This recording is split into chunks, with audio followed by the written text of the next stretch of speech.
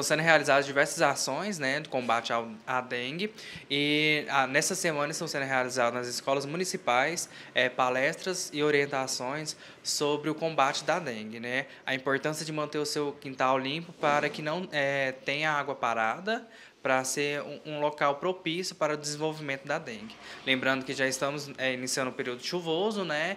E a probabilidade de Santa Rita desenvolver um, um número alto é, de casos de dengue, a gente está assim na esperança que não tenha, né? Mas com o passar dos anos a gente tem observado que tem aumentado.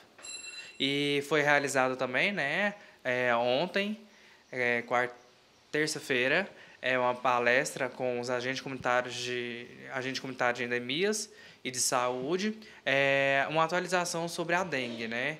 É, sobre a estimativa de casos que tem no nosso município e a importância do papel deles é, na busca ativa nas residências pra, para observar se tem algum recipiente de água ou não e para orientar a população. A visita em casas e residências aí do município é feita todos os dias? Isso, é de acordo com a área, né? Cada, cada agente comunitário tem sua área e é realizado é, todo dia é, visita nas residências. Aí o, o agente comunitário ele entra, né? Ele a, é, faz a análise do local, vê se tem algum recipiente e passa orientações. Em caso de sintomas da doença, o que a pessoa deve fazer? É, tendo sinais e sintomas da doença, é procurar a unidade básica, né? para fazer um acompanhamento pro, com, com o médico, se necessário fazer exame de sangue e começar o tratamento, principalmente com a reidratação oral.